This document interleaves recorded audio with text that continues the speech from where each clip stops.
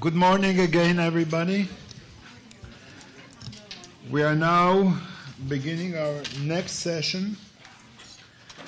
And I think that this is the session perhaps which underlies the whole issue of nuclear arms, nuclear deterrence, nuclear disarmament.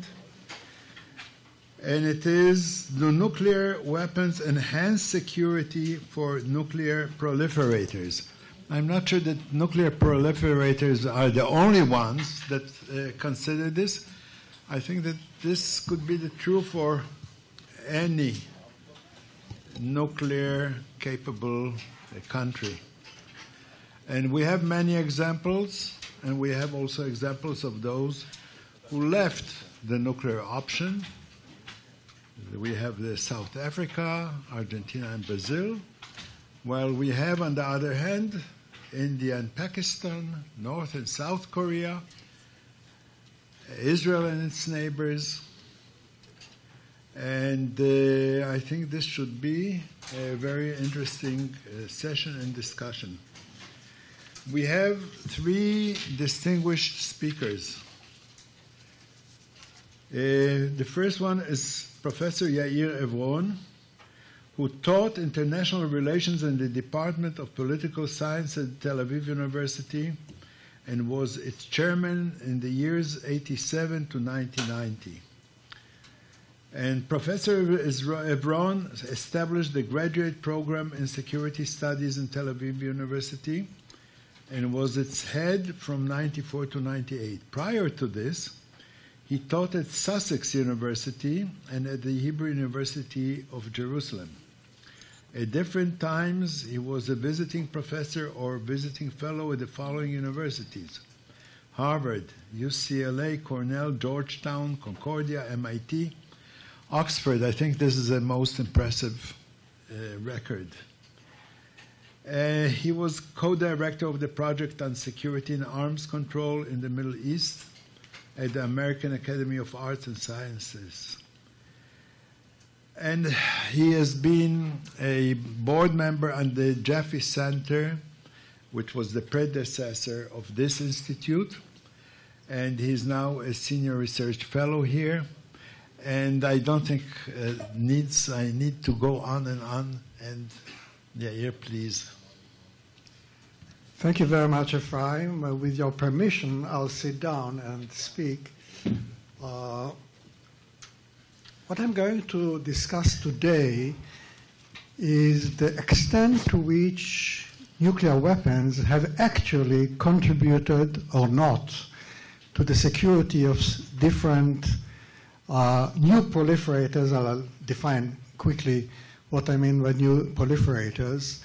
And when I'm talking about security, I'll refer to two dimensions of security. First, security, and second, stability. That is to say, the extent to which nuclear capabilities of the proliferation of nuclear weapons to one state or two states in a region uh, have contributed or have not contributed to the stability, the strategic stability of the region. And of course, a lot depends on definitions of security, stability, and so on. But I'll avoid specific academic definitions because I don't want to belabor my discussion with too much of academic uh, nuances and niceties. Uh, since we have two distinguished speakers that will discuss the Indian Pakistani context and the North Korean context, I'll refer to these two cases very briefly and offer my take on these contributions, possible potential contributions of their nuclear capabilities or the fact that they became nuclear weapon states uh, to the relevant their security and to the stability of the regions in which they are located. But before, I have 20 minutes. But before discussing these specific points, uh, let me just give you uh, it is quite well known, but give you a very brief uh, sort of tour de horizon of the scene, scene of proliferation in the world since the enter into force, or even beforehand, of the Non-Proliferation Treaty.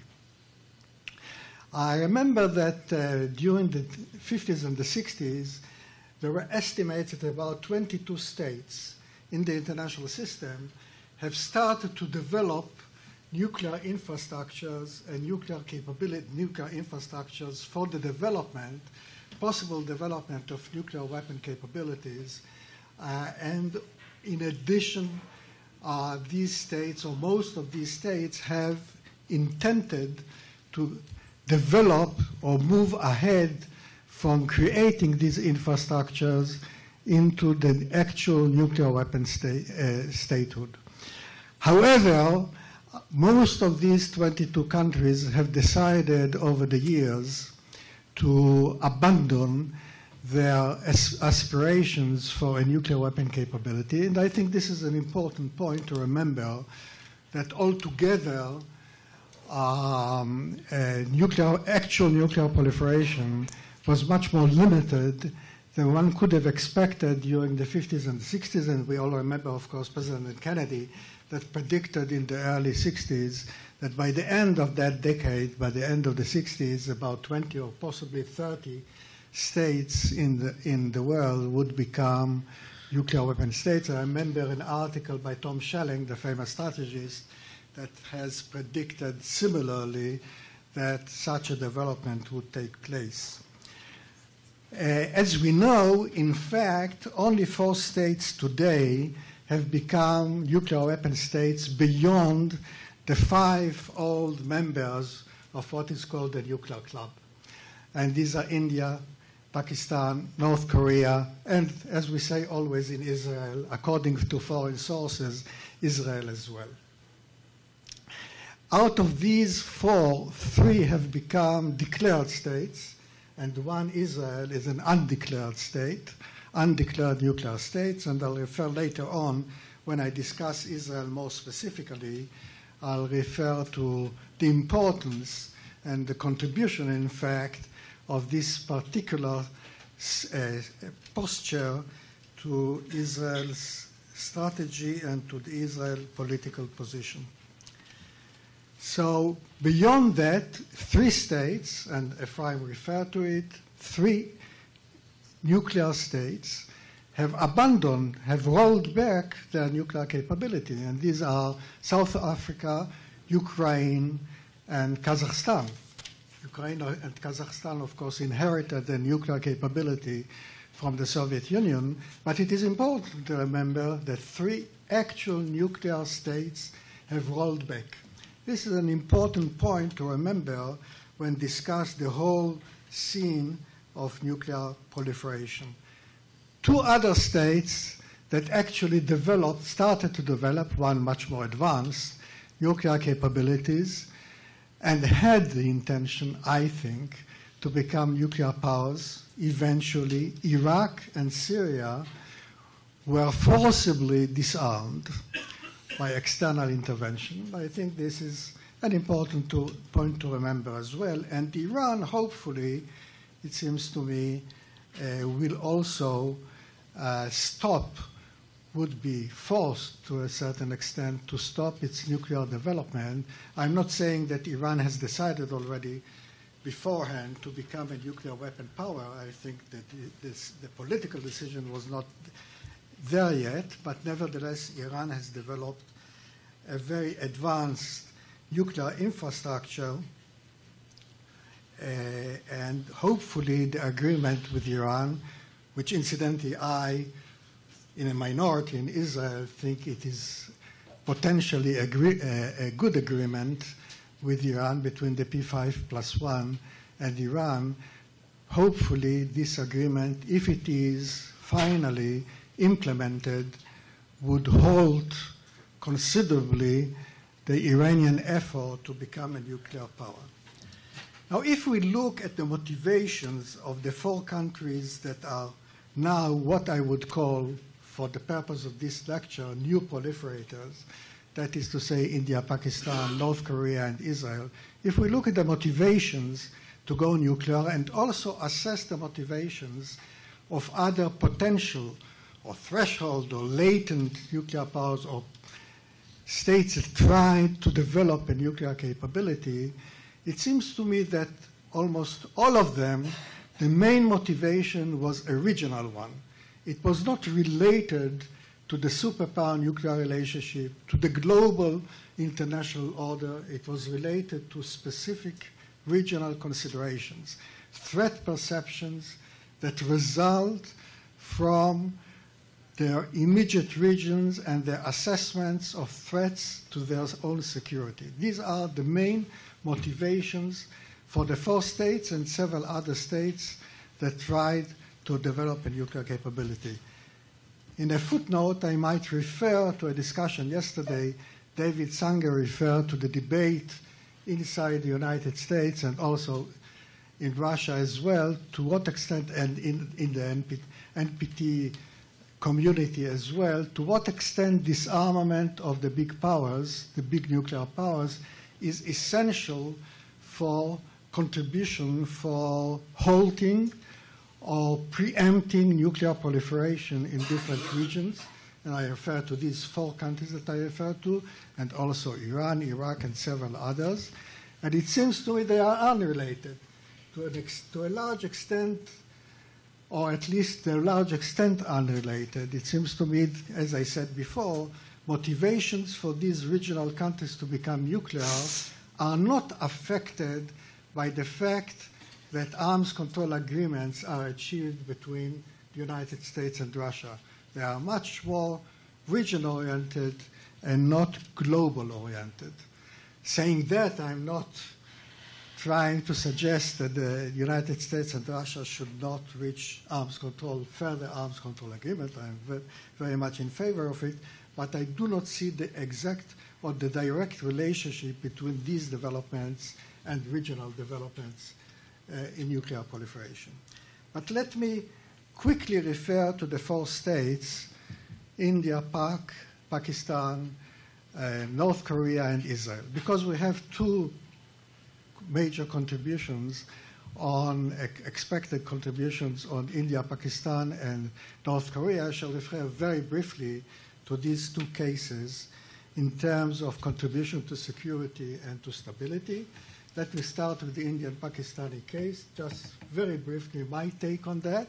And there is a major debate uh, in India and Pakistan and the international community of observers about the possible contribution of the Pakistani nuclear capability for Pakistani security in terms of deterrence of India, whereas on the Indian side and part of the international community of observers would argue that in fact the contribution was very limited or non-existent.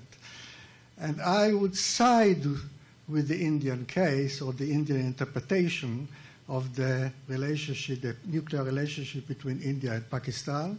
The Pakistani argument was that, aha, uh, thanks to the, the fact that uh, Pakistan has a nuclear weapon capability, India was deterred from a conventional strike against, uh, against Pakistan during the three major crises that erupted two, two and a half, three, uh, that is to say, the early 90s, the Kargil con- uh, conflict, and the 2000 2001 conflict, whereas the Indian side, or many Indian observers would argue that in fact India was not deterred at all, and the fact that India has not used a major conventional strike against Pakistan was due to entirely different set of circumstances, and I would altogether share the Indian argument in that case. In other words, it seems to me that the argument that the Pakistani nuclear capability has deterred and therefore served well the Pakistani security interests, it seems to me does not hold water, or at least the contribution is much more limited. This does not meant to say that we are not sure that in the future the Pakistani nuclear capability cannot play as a certain deterrent against India.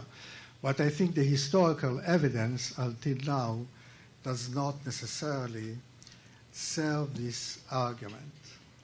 what about stability of the Indian-Pakistani case? And here again, there is the argument which I share that in fact, precisely because Pakistan acquired the nuclear weapon capability, it has it motivated part of the of the Pakistani defense establishment to be much more provocative in terms of limited attacks, terrorism, and so on against India, in the hope that India would not be able to respond uh, to the Pakistani provocations because of the fear of a Pakistani nuclear deterrent. And here again, it seems to me that in fact, be precisely because of the acquisition of nuclear weapons, this increased the instability of the Indian-Pakistani relationship.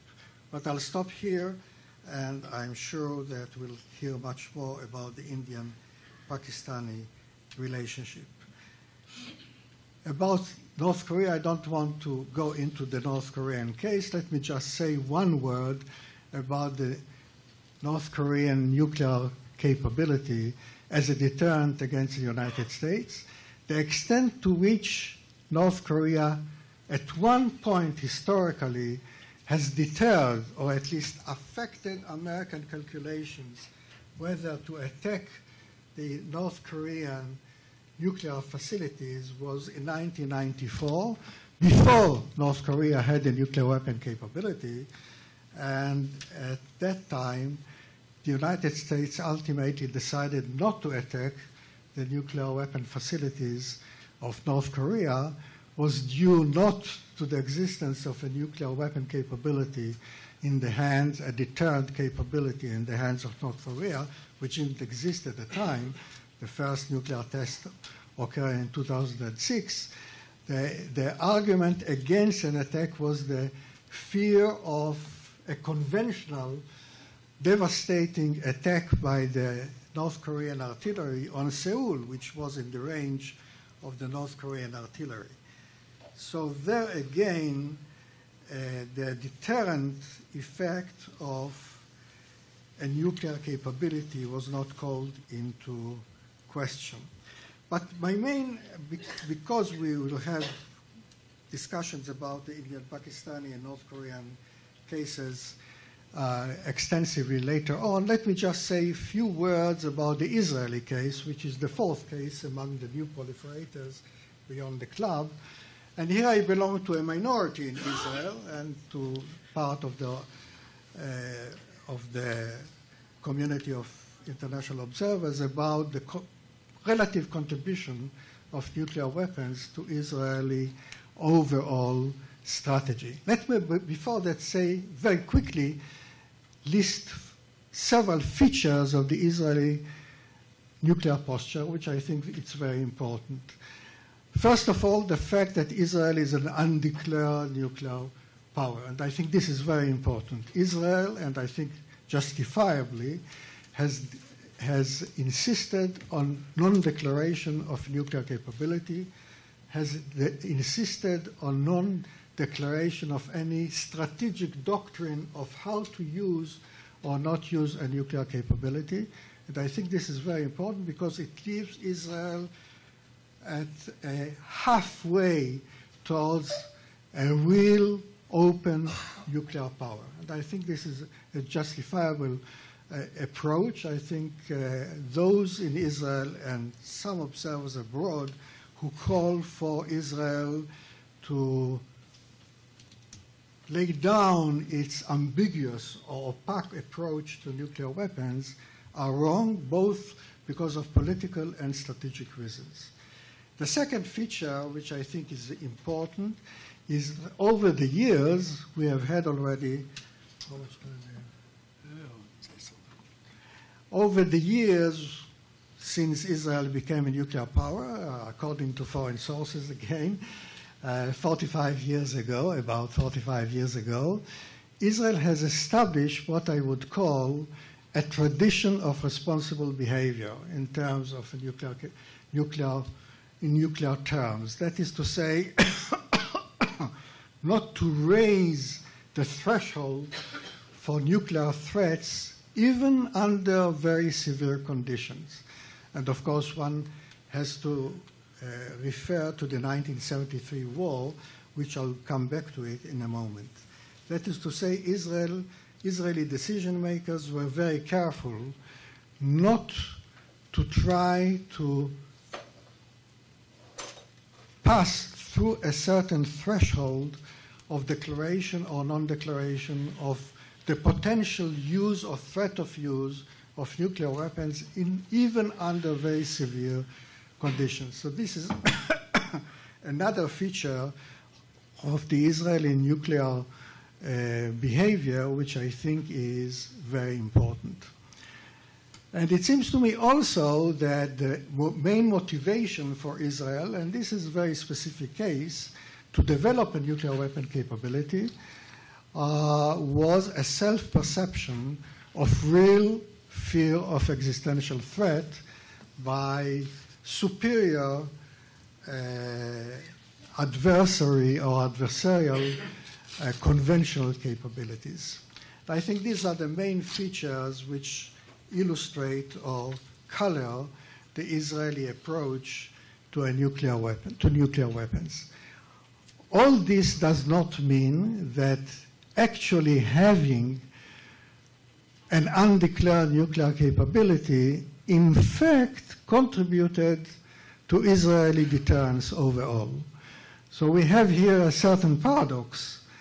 We have a nuclear capability, in fact, a nuclear capability, but its actual contribution to Israeli deterrence over the years was very, very limited.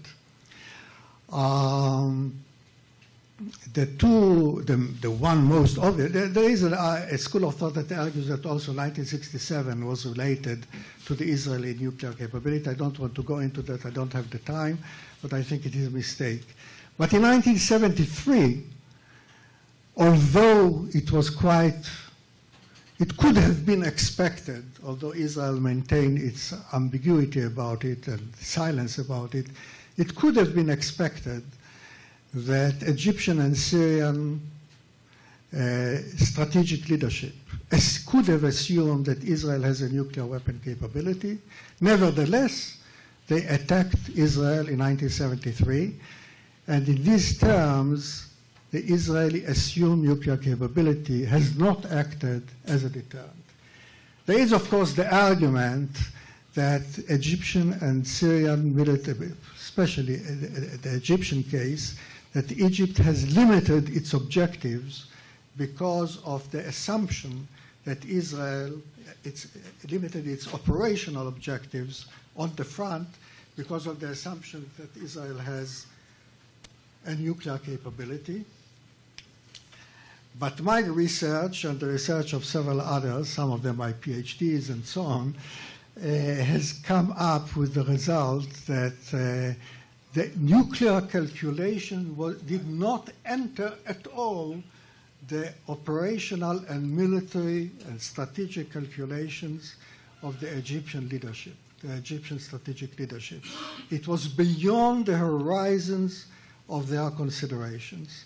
And that is to say, that the actual assumption that Israel might have a nuclear capability did not enter the considerations of the Egyptian leadership.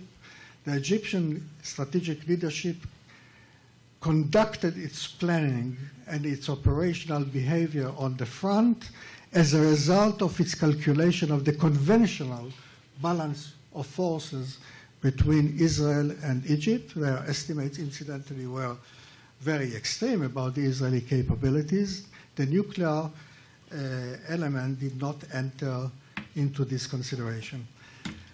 So, in these terms, the Israeli, uh, the Israeli ambiguous nuclear posture has not acted as a deterrent. By now, since Israel has a conventional superiority, clear conventional super, superiority in the region, it seems to me that the Israeli nuclear capability is one of the three pillars of the Israeli security, but of much lesser importance than the conventional capability and the relationship, the strategic relationship between Israel and the United States. This does not mean that I invite Israel to give up its nuclear capability.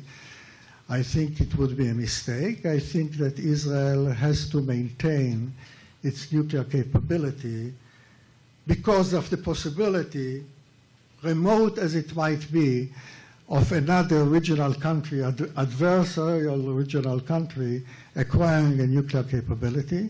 And in general, as a responsible, if I were a responsible, if I were a, a decision maker, and I would assume that I would act responsibly, I wouldn't give up a certain element, an important element of its of my overall capability. This does not mean, and here I connect my discussion with some uh, former discussion, this does not mean that Israel could not, I think Israel should attempt or not attempt, adopt several important arms control measures in the nuclear field. For example, ratifying the CTBT. For example, if an FMCT treaty is, uh, is going to take place, I think Israel should adopt it. And I think Israel, and this is connected with the Ephraim suggestion, I think Israel should unilaterally declare a no first strike doctrine. There are complications involved in it. Uh, involved in it. One can discuss it uh, further, but it seems to me that this is this would be a helpful measure. And I think also that Israel could unilaterally, and certainly as part of a regional agreement, ratify the CWC. So we have several arms control measures that Israel should consider taking unilaterally or as part of a regional agreement uh, that would not would not uh, affect uh, its directly its capability, but would help to create a, an atmosphere of confidence building in the region. Thank you very much. Thank you. Thank you very much, uh, Professor Evron.